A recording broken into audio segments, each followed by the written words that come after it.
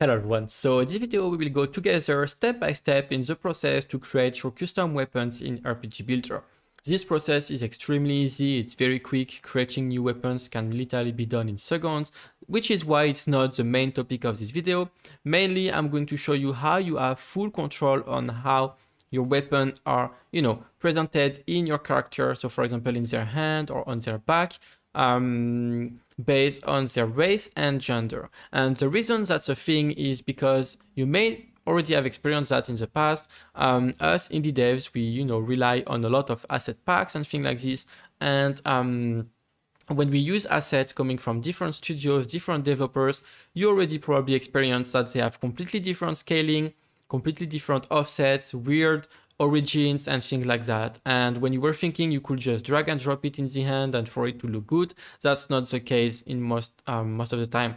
Uh, sometimes it's going to look absolutely tiny, you can't even see the weapon. Sometimes it's going to be massive, and sometimes it's even going to be like two meters away from the hand extra. So um, RPG Builder, of course, provides you a tool, or rather in like a system for you to uh, fix all these issues. It is very easy to set up, and uh, you will never have to worry about that again. So that's pretty much what I want to show you today. Um, for this video, I'm going to use this axe weapon as an example and, you know, like a showcase. Um, this axe is actually one of the axes coming from the um, Blink art team. So in case you didn't know, Blink is now producing art packs, which you can expect to be out of the month uh, in the in the next you know coming month on the asset store. So more information on that later.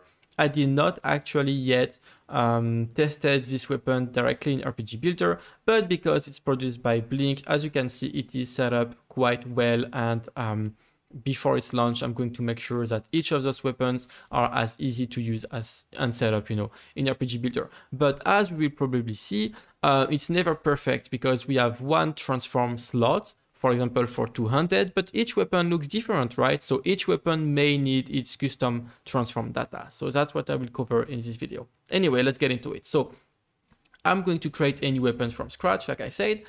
Uh, the editor is going to look different for you. This is the 1.1 version, but really do not worry about that. The process is exactly the same.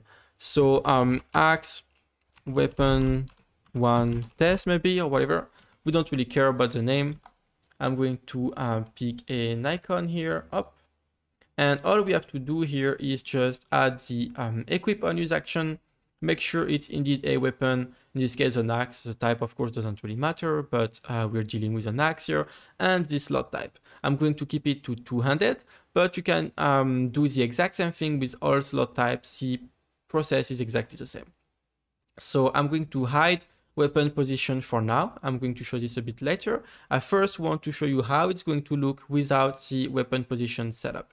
So here I just drag and drop my weapon model, uh, you know, prefab inside the weapon model field. And I can now just go ahead and save that. So it is now added as an item. As you can see, very easy, very quick. And we will now go in game um, in the demo scene. This will of course work no matter if you use a new character or existing one, um, but in this case I'm just going to make one um, and go ahead. So now we are in game, perfect, and I'm going to uh, give myself the test weapon. So I'm just going to type test in the developer panel, and now you see that we have the axe weapon one test in your bag. So if I now right click it, it just works like any other item, we can hover it, you know, it's like inside the character panel. Uh, the tooltip is of course not showing much because we didn't add any stat, any damage, any attack speed, etc. But um, as you can see, the issue here is that it doesn't look terrible. It is actually where it should be. So we are not in combat. So right now it's on the back, etc. But it doesn't look correct, right? Like nobody will carry an axe like that. And this is where um, this is where uh, the weapon position data actually enter in place. So here we have the axe weapon test one.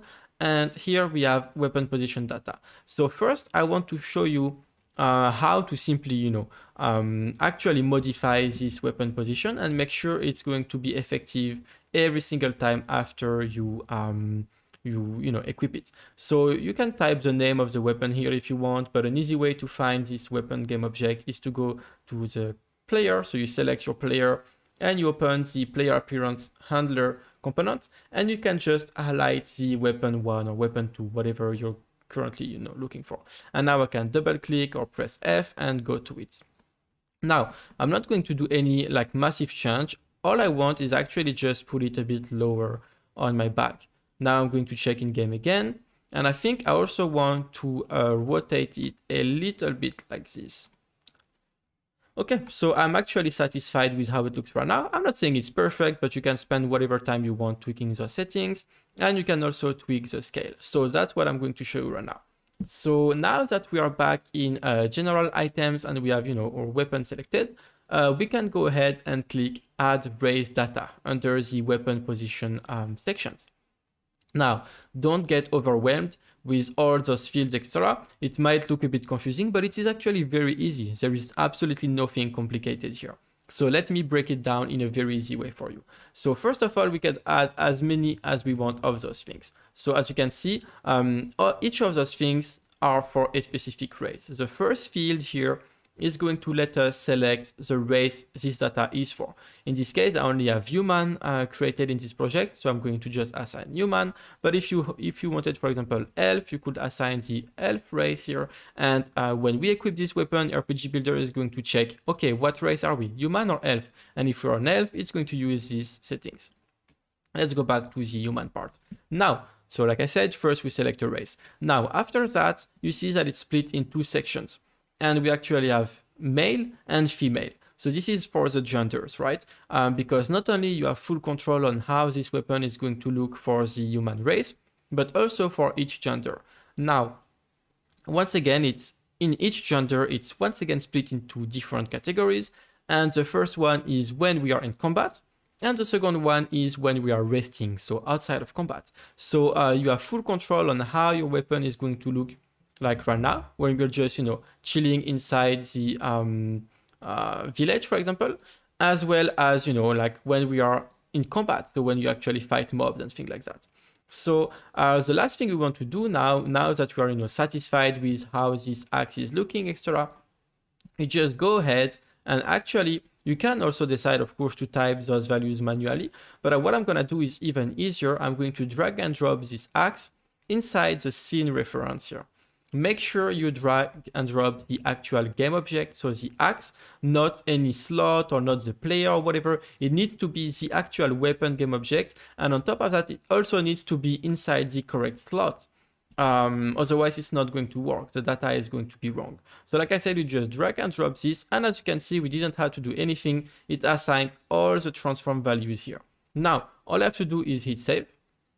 I'm going to now go back in game and as you can see, I'm going to unequip the weapon and the next time you equip it, you can see that it is now using our settings we just set up. So it's perfect. Um, now, like I said, this will be the exact same process for the female and the combat. So I can go ahead now and, um, you know, start fighting, for example, one of those dummy targets here. And you will see that um, the weapon, uh, the position is most likely going to be wrong. Okay, so now what we have here is a um, the axe is completely flipped on the opposite direction, right? So I'm going to go ahead and um, find it again in your character because now it's under the combat slot. It's different than before. Go back to it. And uh, I'm going to stay in combat, like actually like this.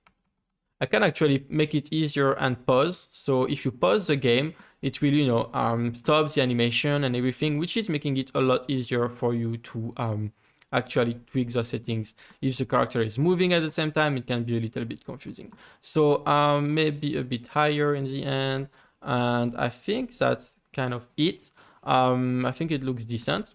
Like I said, this video is not really to um, go too much in detail. I'm going to collapse those um, NPC spawners. It's taking a lot of screen space. Okay, so it's cleaner now. But yeah, I think it looks fine. And the process is the same. Now what I will do is uh, find the weapon.